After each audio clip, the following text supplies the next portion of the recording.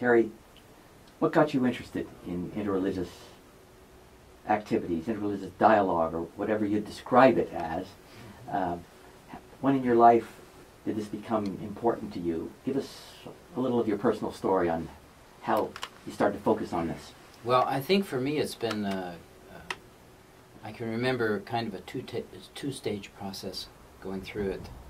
I was the son of a Baptist minister, but as long as I can remember, I've always been interested in reading about other religions. And as uh, when I was in grade school, actually, uh, junior high, I got interested in Buddhism and started reading uh, Buddhist books, um, some regular Buddhist books, but also some rather esoteric Tibetan Buddhist books. And um, I just was fascinated with that, and that was the first stage, just that interest, that curiosity. What, whatever uh, someone would believe was always very interesting at that, at that time in your life, were you being transgressive to be reading as a Baptist Buddhist uh, I, literature? My father was not just a, a minister; he's also a, a, professor. So he believed in education. So as long as he thought this was education, which it was, I guess, in a way, he he was okay with it. My mother was a little more nervous, and uh, it was a bit of a stretch for her. But I never lost that. In fact, when I decided uh, on uh, after I got done with college, and then I went to divinity school. Uh, and then I wanted to go to graduate school and get a PhD so I could become a professor like my father. And uh, then I had to decide what to focus on, what to study, and I decided, well, religion is so interesting to me, why not study that? So I did it a bit selfishly.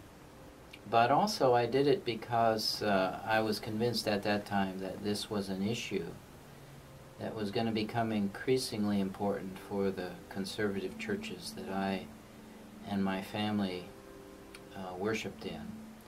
Uh, we pretty much had the idea that anyone of another religion was lived somewhere over in Africa in a little village, and uh, we hadn't quite got it yet that uh, the religions are everywhere and increasingly they're in every culture.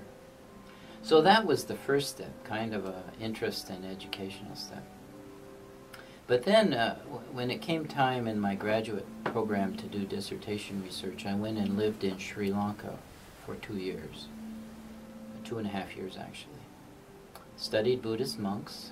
That was my official project. Was I wrote a dissertation on Buddhist monasticism.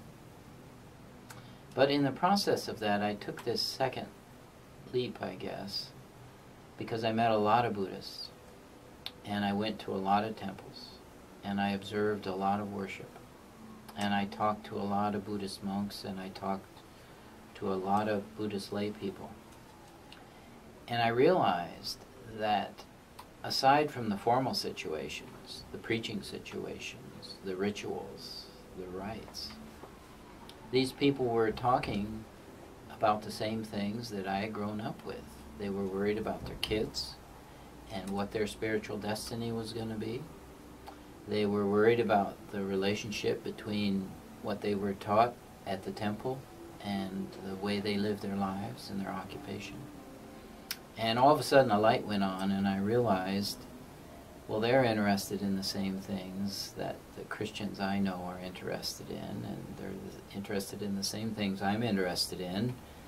They have a, a different set of symbols and a different set of ideas for how they express that. But that's when I became interested in not just religion, but in interreligious dialogue.